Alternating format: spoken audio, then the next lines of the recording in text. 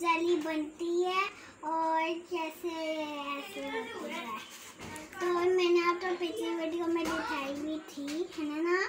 अब मैं इसको बनाने जा रही हूँ। डो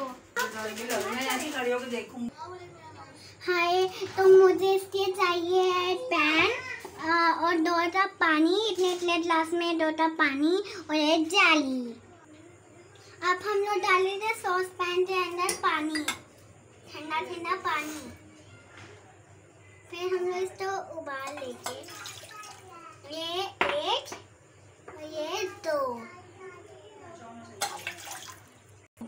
अब हमने ये उबालने की लग है, या फिर इसमें बुलबुले बने के हम लोग वो पाउडर इसमें डाल देंगे। तो ये फुल गर्म हो जाएगा, तब हम लोग इसमें वो पाउडर डाल दे गाइस तो मैंने ये पहले छोड़ी है पता नहीं कैसी होती है हम लोग चखते हैं।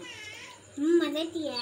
अब हम लोग इसके अंदर अब ये बॉईल हो जाएगा पानी तो इसके अंदर ये पाउडर डाल देते हैं देख लें आप कैसे इसमें हल्के हल्के बुलबुले आ रहे हैं वैसे।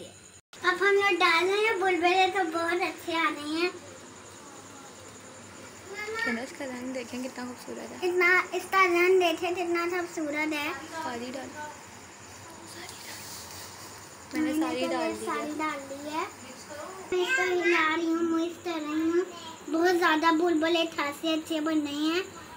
इसको आप ध्यान से बनाएँ।